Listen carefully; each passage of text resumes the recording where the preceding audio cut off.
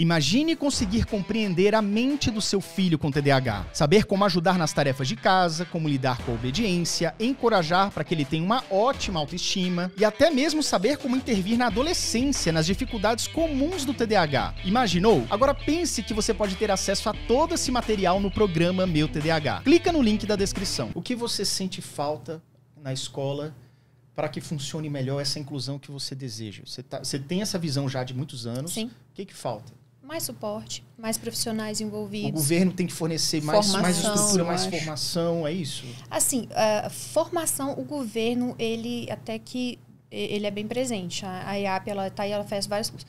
Agora, uma, uma criança que tem essa, essa um TDAH, quando ele recebe um atendimento individualizado, fora de sala de aula, eu não estou excluindo a criança, estou falando de minutos que ele sai da sala.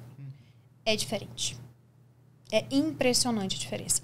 O ano passado, é, uma criança da escola, eu falo com propriedade, ele, ele teve esse privilégio de ter uma monitora voluntária que pegou ele por diversos momentos. É impressionante o salto de aprendizagem. Até porque o professor em sala de aula ele não tem, ele não tem condições de desenvolver a parte terapêutica mesmo. Então, por exemplo, se é um aluno que ele tem dificuldade de foco e concentração, eu preciso trabalhar exercícios de foco e concentração. Em sala de aula eu trabalho conteúdo. Não trabalha, a gente não trabalha exercício de foco e concentração. E aí, muitas das vezes, é necessário esse apoio extra, extra turno, extra classe, para que seja feito. Então, assim, aqui no DF, nas escolas públicas, eu acho que estender as salas de apoio, porque eles, os alunos com TDAH não têm direito a acesso aos, às salas de recurso. Eu sei que muitas escolas, mesmo assim, se sensibilizam e incluem eles, né? Porque a sala de apoio é diferente da sala de recurso. A sala de recurso é para os alunos com deficiência, deficiência intelectual, autismo, etc. Importante frisar Im- isso. Importante frisar isso. O aluno com TDAH não tem acesso a esta sala pela legislação, mas mesmo assim eu vejo que muitas escolas ainda colocam eles na sala de recurso por falta da sala de apoio. Não, não são todas as escolas aqui do DF que têm a sala de apoio mesmo para trabalhar. Aí que- lá que vai ser trabalhada função executiva, lá que vai ser trabalhada foco, concentração. Então tudo isso é, é algo que eu que eu observo. Isso na escola pública, tá? E sensibilizar, eu acho que formar, mesmo que o governo ele ofer- oferte muitos cursos, eu ainda sinto falta de, de- de- da formação, assim, vendo, convivendo com os professores quando eu vou fazer formação, muitas coisas a gente conversa, né? Eu acho que falta de coisas práticas mesmo, estratégias práticas, eu acho que falta isso. Agora, com relação às, às particulares, as particulares é um, um pouco mais delicado, porque eu vejo Você percebe. Eu vejo assim, não existe do mantenedor da escola particular um certo interesse tão grande em fazer a inclusão como necessariamente deveria ser feito. Nem toda escola tem, por exemplo, um psicólogo escolar, nem toda escola tem um nisso, né? psicopedagogo. Não tem isso. Você tem apenas, algumas escolas você tem apenas o coordenador pedagógico e ele acaba atendendo várias demandas, né? Ele não consegue fazer a, a atuação. E eu canso de conversar com professor, com coordenadores, que eu falo assim, Dayana, eu, eu converso com alguns professores, mas infelizmente alguns têm uma resistência muito grande. Por quê? Porque alguns chegam a falar para mim e falam assim, olha, mas eu não recebo um real para fazer uma adaptação. Eu vou falar o quê? Você está entendendo? É, as pessoas Ele vai ter que fazer extra classe. Uma, é, as pessoas têm uma resistência, Tem. obviamente, né? Poxa, eu tô fazendo um trabalho a mais aqui. Exato. Então, isso tudo precisa ser levado em consideração, porque a inclusão ela precisa ser feita do topo do, da direção, mantenedor, para a ponta. Porque se não for, vai ser um- uma briga né, que ele acaba vi- vivenciando. Mas vai muito de bom senso. É, dependendo do professor, mesmo com essas dificuldades, ele consegue fazer uma boa adaptação. Mas eu vejo que é, não são todos os professores que têm interesse de pegar. Recebi uma turma, peguei o meu diário. Quem são os meus alunos? É, Tenho algum com laudo ou não? Isso, né? Não são Ma- todos que fazem de, isso. mapa de sala. O mapa né? de Como é que é sala. isso daí, né? Eu já, Quem eu é já, meu eu já aluno? corro atrás. Já É, vai, não- já. se adianta, né? Sim. Adianta, a gente ganha tempo, né? É o que eu falo, tem profissionais e profissionais. Eu, eu- há um tempo atrás eu cheguei numa escola que o aluno já estudava lá há algum tempo, a gente chegou, ele mudou de, de turma e mudou de professores, aí recebemos as avaliações, falei, mas cadê a- aluno com autismo? Cadê as avalia a adaptação de avaliação? Ué, mas ele tem autismo? Eu não sabia. Eu falei, mas como assim? Não sabia. Já estuda lá há anos, entendeu?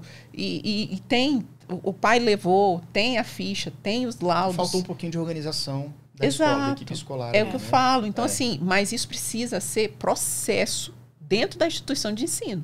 Enquanto isso estiver só na cabeça do coordenador pedagógico, do, do psicólogo, esquece. E, e quem tá na ponta é o professor. Se ele não tá Uhum. sabendo o que tá acontecendo, e nada é feito. E, e precisa, precisa ser processual e precisa ver, a- como a gente vem falando com as crianças, consequência e recompensa. Tem que ter isso também. E uma pergunta aqui. A escola, de modo geral, pode recusar um aluno TDAH? De jeito De nenhum. jeito nenhum. Isso, por incrível que pareça, é uma constante reclamação de pais que falam que o aluno chegou lá, apresentou, estava tudo certo. Eu falo, ah, então, meu, meu filho tem um laudo aqui também. No dia seguinte, ô pai, desculpa, acabou a vaga. Nossa. Não, isso, Isso não. acontece. Ou então, virada de ano, ah, acabou a vaga. O aluno já estava matriculado, a escola dá um jeitinho de escapulir.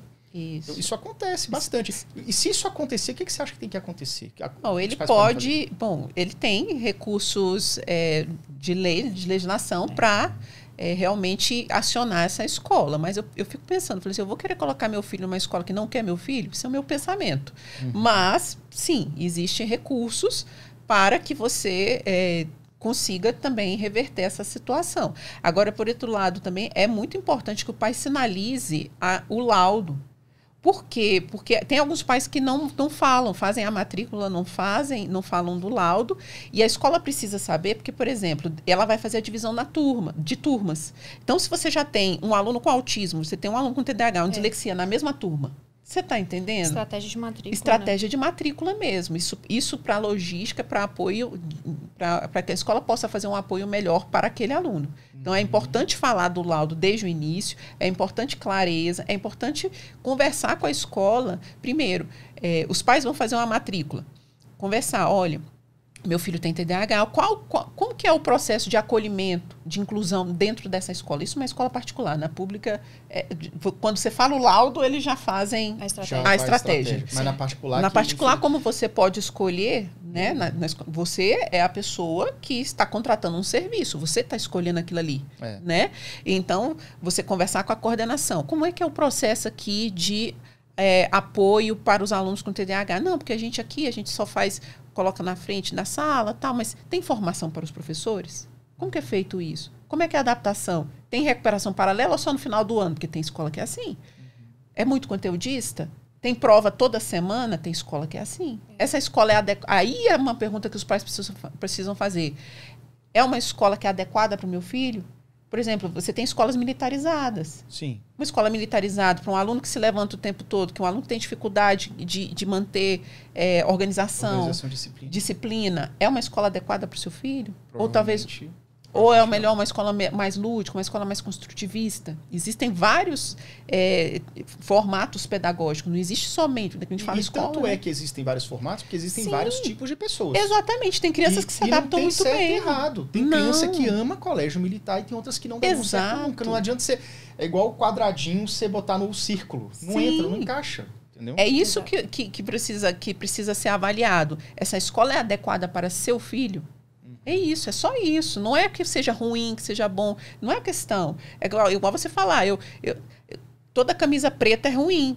Não, mas você não gosta de preta. Exatamente. Você está entendendo? Não é assim. É porque é uma questão de, de necessidade mesmo. Mas sabe? essas recusas, elas acontecem mais é, que proporção particular? Isso, É, escolas não, particulares. só particulares. Pública, acho que Pública não- não, porque impossível. não tem. Eu vejo que até defender, porque a- de, de Claro. maneira nenhuma. Nem pode. Não, é a, a criança, ao, ao menor resquício de, de rejeição, ela vai na Secretaria de Educação e automaticamente ela volta, ela Sim. tem prioridade. As- as- os exemplos que eu trouxeram foram de pais, todos esses exemplos de escolas particulares. particular, Mas nós né? sabemos que tem um artigo constitucional que todas as regras escolares elas se aplicam à escola particular, porque às vezes a gente pega um recorte desse, que a gente vai Sim. fazer vários recortes. Aí você fala, não, porque a escola tem que fazer acontecer, e vai vir pai perguntando assim, tá, mas a minha escola é particular, ela tem que fazer? Tem. Tem que fazer. Toda es- escola é escola. Uhum. Ah, mas a minha escola ela é, ela é voltada para o vestibular, azar dela. Se ela é escola, ela tem que ser inclusiva, ela tem que Isso. ter adaptação. E se ela tentar ali escorregar para ficar à margem da lei, fazer errado, ah, eu vou então vou inventar uma desculpinha aqui, pode denunciar, porque isso é totalmente Exato. errado. E por isso que eu falo, é importante esse diálogo com a escola, porque a escola precisa sinalizar, olha, minha escola é ritmo de cursinho pré-vestibular. Uhum. A gente exige dos alunos autonomia, eles fazem em média 90 exercícios por dia, isso é a realidade de algumas escolas, tá? Eles fazem 90 exercícios, eles precisam entregar porque eles fazem simulado todo sábado. Seu filho, você acredita que o seu filho vai se sentir bem e feliz nesse perfil que a Nesse gente está oferecendo para você? É uma conversa franca. É, é ser claro. Mas os pais eles querem assim, Eu vou não- botar na escola mais forte da cidade, porque como se isso, por osmose, É porque entrasse- ele, porque ele vai ser disciplinado. Às vezes eu vejo isso. Eu- não, eu vou colocar na escola mais forte da cidade porque eu quero que ele passe no vestibular e ele seja disciplinado.